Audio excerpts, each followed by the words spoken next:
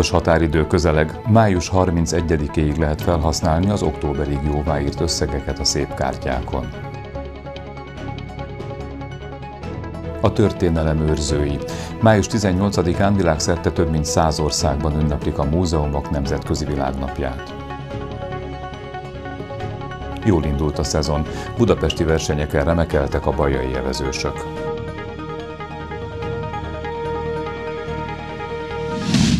Kedves nézőink, köszöntöm Önöket május 18-án csütörtökön, itt a Bajai Televízióban kezdődik a híradó.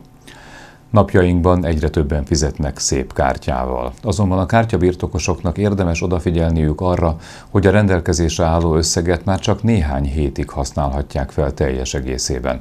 A kormány döntése szerint a 2022. október 15-éig jóváírt juttatásokat május 31-éig költhetik el adómentesen a munkavállalók, ezt követően a meglévő összeg értéke 15%-kal csökken. Egymás után készülnek a csirkehúsból összeállított finomságok ebben a bajai étteremben. A vendéglátó egységben a nyitvatartási idő végéig nagy a sürgésforgás. Gyakran három olajsütő is működik egyszerre, hogy időben elkészüljön a leadott rendelés.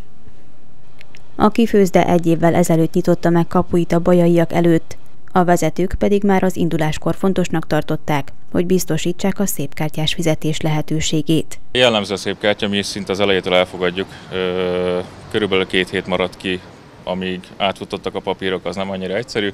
Mi fontosnak tartottuk azt, hogy mind a három bank által kibocsátott, kibocsátottat elfogadjuk. Nyilván az egyik, a, ami igazán jellemző, tehát 10-ből 9. A, a szépkártyások számára azt mondanám, hogy 10 kártyás fizetésből 4 legalább szép kártya.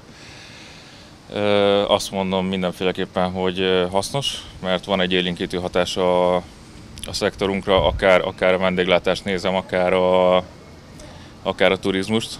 Míg a legtöbben vendéglátásra használják fel a béren kívüli juttatást, addig sokan szórakozásra, élményekre költik a szépkártyán lévő összegeket. A pandémia idején ideiglenesen megszűntek a különálló zsebek, januártól pedig végleg szabad felhasználásúvá vált a Széchenyi pihenőkártya. Ettől kezdve a munkavállalók maguk dönthetnek az összegek sorsáról.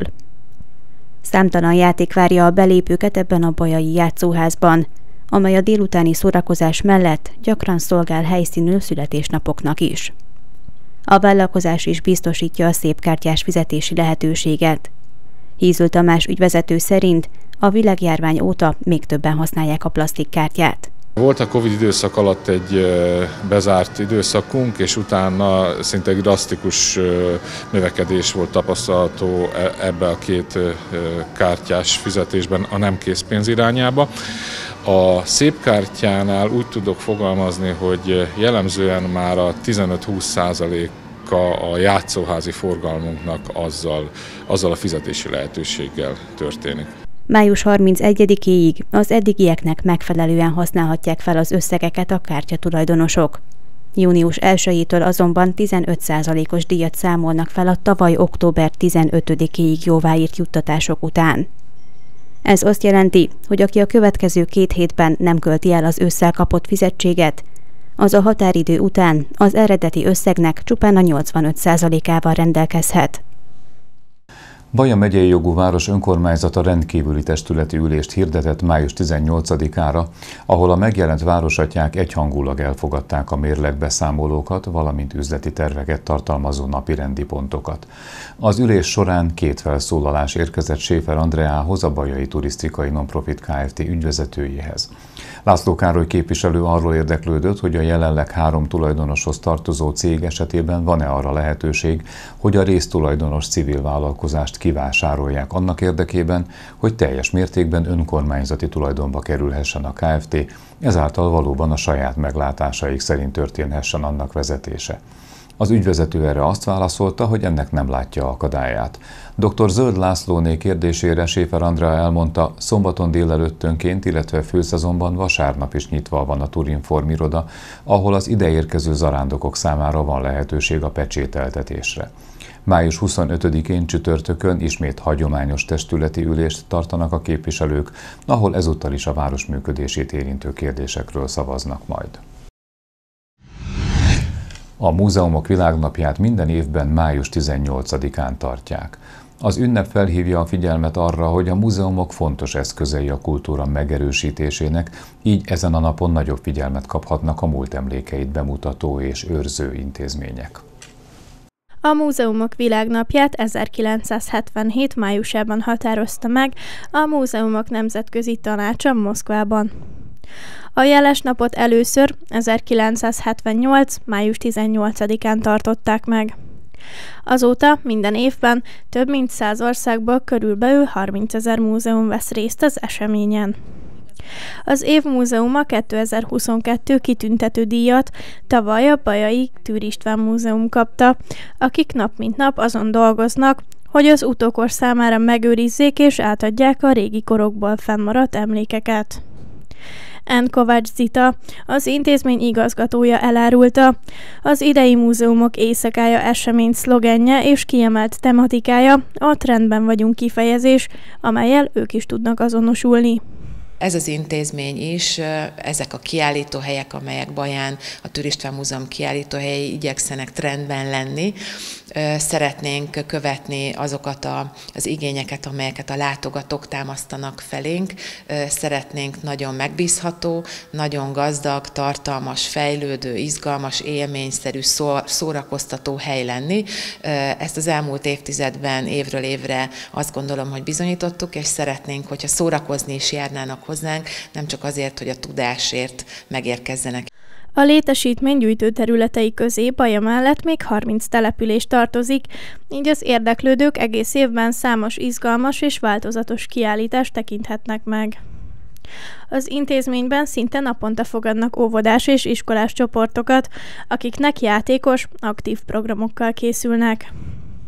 Régészetről, helytörténetről, ünnepekről és a hajózásról is többet megtudhatnak azok a gyerekek, akik ezen foglalkozások keretein belül látogatnak el a Tűr István Múzeumba. Barabásné Karai Dóra, az intézmény múzeum pedagógusa elárulta, fő motivációjuk minden esetben az élményszerű ismeretátadás foglalkozások mellett nagyon szeretünk kézműveskedni. Egy olyan világba vezetjük át a gyerekeket, amiben manapság ebben a digitális ö, ö, korban egyre kevesebbet van részük. Szeretjük kimozdítani őket ebből a digitális világból, és visszavezetni egy olyan régies tevékenységbe, egy olyan gondolkodásformába, amiben még az elődeink, nagyszüleink, dédszüleink éltek örömmel tapasztaljuk, hogy nem nehéz. Legutóbb a Jánoska eresztés tematikájú projekt héten a halászok, vízimolnárok mesterségével, életével ismerkedhettek meg a résztvevők. A múzeum következő héten a pünköst témakörét fogja feldolgozni az érdeklődő gyerekek számára. Június végén pedig a hagyományokhoz híven mindenkit várnak a múzeumok éjszakájára. Kiemelt figyelmet fordít az útmenti területek karbantartására a Magyar Közút Nonprofit ZRT. A társaság országosan közel 31 ezer kilométeren lát el üzemeltetési feladatokat, emellett mintegy 200 millió négyzetméternyi zöld felületről gondoskodik. A következő időszakban erre is kiemelt figyelmet fordítanak a szakemberek. A tavaszi csapadékos és az elmúlt hetek melegebb időjárása miatt beindult a növények vegetációja, ezzel együtt az útmenti fű növekedése is, így a cég megkezdi a kaszálási munkákat. Az autósok az országos úthálózaton rendszeresen találkozhatnak majd kaszálási munkát végző gépekkel, az esetleges fennakadások miatt a közútkezelő figyelmet és megértést kér a sofőröktől. Négy napos információs napot hirdetett az Interreg 6A IPA Magyarország-Szerbia program a 2021-2027-es időszak első pályázati felhívásához kapcsolódóan. A többállomásos előadás sorozat egyik helyszíne Baján a turisztikai központ volt, ahol a résztvevő non-profit szervezetek képviselői részletesebb képet kaphattak a legfontosabb szabályokról megjelent az Interreg 6A IPA Magyarország-Szerbia program első pályázati felhívása, amelynek dokumentumai már áprilisban megérkeztek a partnerszervezetekhez. Ezzel kapcsolatban hirdettek meg Szerbiában és Magyarországon négy információs napot, amelyek egyikét május 18-án tartották Baján a turisztikai központban. Az esemény kettős célt szolgált. Fontos, hogy a meglévő információkat még inkább elmélyítsék a potenciális pályázókban, másrészt pedig az érintettek választ kaphatnak a felhívás kapcsán felmerülő kérdéseikre, megkönnyítve ezzel a pályázati lehetőséget nyilatkozta híradónknak Halász János, a program közös titkárságának titkárságvezető helyettese. Pályázati feltételeknél fontos az, hogy ez a program alapvetően egy olyan programterületen működik, amelyre Magyarországon a Csongrád, Csanád vármegye, illetve Bácskiskun vármegye tartozik, míg a Vajdaságból pedig az ottani hét járás. Tehát olyan pályázókat várunk, akik ezen a területen működnek, vagy telephelyjel, vagy székhelyjel, és a legfontosabb az, hogy minden pályázatnak a pozitív hatását erre a régióra kell kifejtenie. Halász János hozzátette, hogy a 2021-2027-es időszak első felhívásában a 75 millió eurós összköltségből 57-58 millió eurós forrás áll rendelkezésre, amelynek keretében kisléptékű, normál és nagy léptékű pályázatokat várnak, amelyek esetében eltérő nagyságú összegekért pályázhatnak a partnerek. A program hagyományosan a non-profit szervezetek számára nyújt segítséget, alapítványok, önkormányzatok, múzeumok is igényelhetnek támogatást. A főiskolának korábban is voltak már tapasztalatai határon átnyúló pályázatokkal. Az információs napokon a tájékozódás mellett kapcsolatot is teremthetnek azokkal, akik hasonló projektet terveznek vagy valósítottak meg, mondta Nagy Cirok Anita, az Ötvös József Főiskola pályázati referense.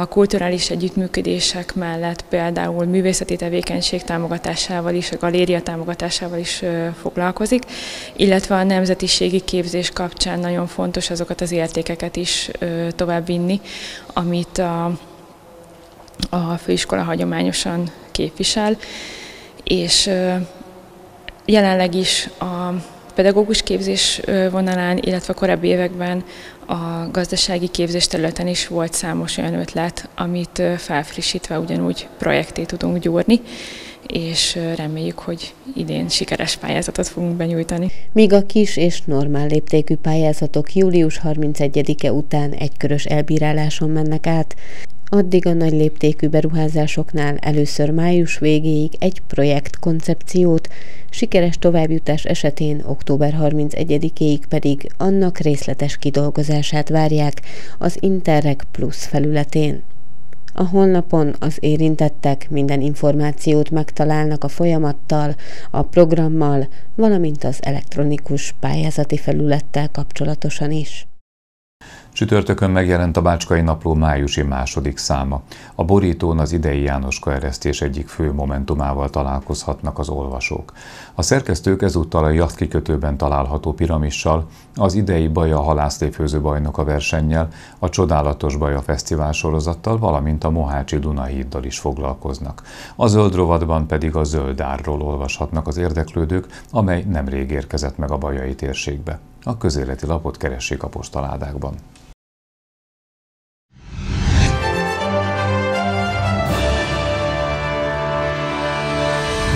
Hazai versenyeken ragadtak lapátot a Bajai Spartacus SC evezős szakosztályának sportolói. Bartos Nándor tanítványai a budapesti viadalokon kiemelkedő teljesítményt nyújtottak. A fiatalok legközelebb nemzetközi megmérettetésen bizonyíthatnak. Megkezdődött a versenyszezon a vízisportok számára. Így a Bajai Spartacus SC evezős szakosztálya is lapátot ragadott. Májusban két budapesti versenyen is vízre szálltak. Előbb az MTK kupán remekeltek Bartos Nándor tanítványai, hiszen két ezüst és két aranyéremmel tértek haza. Május 13-án a Ferencvárosi Evezős Klub szervezte nagy múltú versenyén, a FEC kupán szerepeltek, ahol szintén remek bajai eredmények születtek.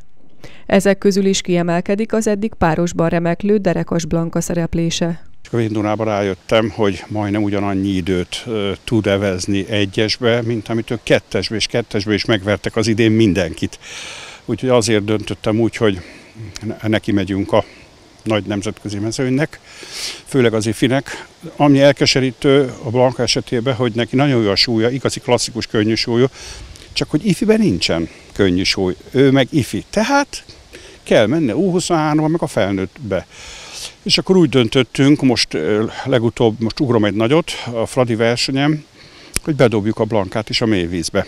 Olyannyira jól sikerült az egyes versenyszám a fiatal levezős számára, hogy kétszer is felállhatott a dobogó legfelső fokára.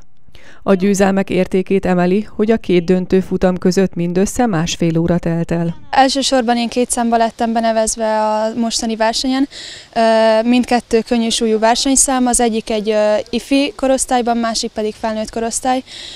Az ifi korosztályban előfutamos volt, ami azt jelentette, hogy utána még volt egy döntő, amiben nagyobb előnyel bejutottam és kicsit közel volt mindkettő döntőnek a, az ideje, viszont végül sikerült mindkettőbe fölé nyernem. Bóka Őrs és Makkos András is dobogóra állhatott két párban a Fradi versenyén. Előbbi ezüst, míg utóbbi bronzérmet vehetett át budapesti csapattársával. Az idei évben IFI egyes kategóriában szerepel már az a vetőkorán, aki az elmúlt versenyek során többször is dobogóra állhatott négyes és nyolcas hajóegység tagjaként. A múlt hétvégén voltunk Fecskupán, ott elég jó eredményekkel értértem haza, egy első és egy második hely. Előtte hétvégén volt MTK kupa, ugyanott, és ott pedig Perorban második helyezés lett. Mennyire vagy elégedett eddig a saját teljesítményeddel? Nagyon eléggé. A spartakuszosok kemény edzésekkel készülnek tovább, hiszen hamarosan a szlovéniai Bleditavon szállnak vízre, ahol a fiatal evezősök ezúttal nemzetközi mezőnyben bizonyíthatnak. Egy-egy mondatban következzenek most a fontosabb hírek. Fontos határidő közeleg, május 31-ig lehet felhasználni az októberig jóváírt összegeket a szép kártyákon. A történelem őrzői. Május 18-án világszerte több mint száz országban ünneplik a múzeumok nemzetközi világnapját. Jól indult a szezon, budapesti versenyeken remekeltek a bajai evezősök.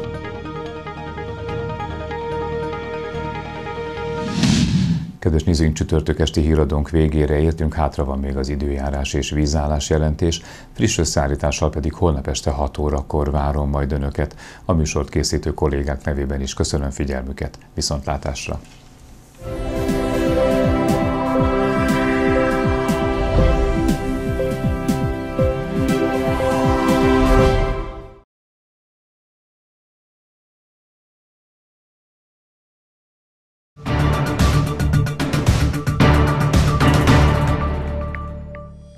Pénteken reggel még a Dunántúl nyugati részén eshet, így ott felhősebben indul a nap, majd ott is csökken a felhőzet, és mindenütt napos idő várható gomoly felhőképződés mellett. Napközben már csak helyenként fordulhat elő zápor, a keleti határ közelében esetleg zivatar. A légmozgás mérsékelt marad. A legmagasabb nappali hőmérséklet általában 17 és 24 fok között alakul, a nyugati területeken mérhetjük az alacsonyabb értékeket.